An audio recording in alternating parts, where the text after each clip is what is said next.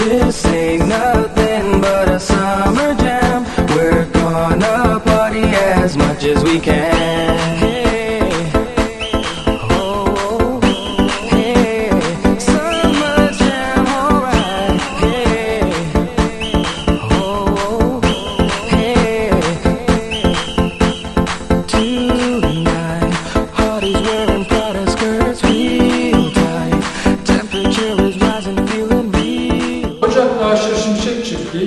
1994 yılında Aşık Şimşek tarafından e, Elazığ'ın Ağın bölgesinde kurulmuştur. İlk yıllarında kayısı, ceviz ve nar e, dikmeninden oluşan ürünler e, sunulmaktaydı. E, 2005 yılına doğru e, bağcılığa geçilmiş bulunmaktadır. E, 2005 yılından sonra amatörce yapılan e, şarapçılık 2007 yılına gelindiğinde e, 20 ton kapasiteli şarap fabrikasına dönüştürülerek e, kısmetse 2008 yılında piyasaya verilecek şekilde e, yapılandırılmıştır. E, üç çeşit ürünümüz var. E, üzüm cinslerimiz kalecik karası e, ve öküz gözü.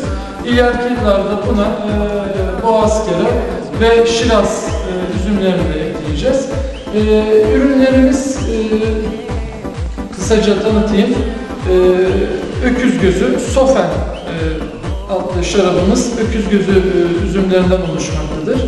E, sofenin e, anlamı Elazığ'ın antik Roma devrindeki isimlerinden birisidir. Gerçi bütün şaraplarımıza Elazığ'ın eski isimlerini e, koymuş bulunmaktayız. E, bunun haricinde Karpata diye bir markamız var.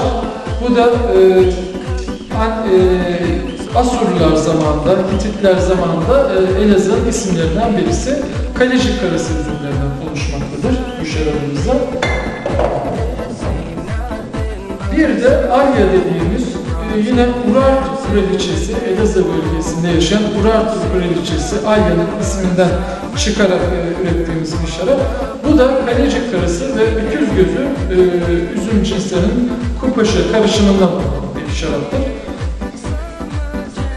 Üretimimiz e, bu tip şarap üzerine e, fazla e, büyümeden kaliteli e, ve e, saygın müşterilere ikram edeceğimiz, e, sunacağımız şaraplardır.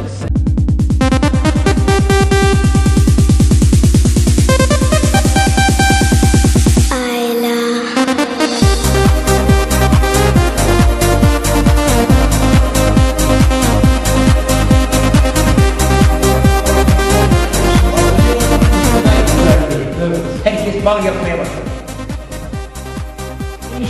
İnşallah böyle bir şarap fabrikası e, Evet. olduktan sonra e, çiftçilerimiz daha da güzel e, Çok imkanlar güzel şarap, çok kaliteli. En çok yeri İzmir'de, İstanbul'da böyle bulmuşuz. Ama çok kaliteli. Masraftan da arkadaş kaçmamış. Çok.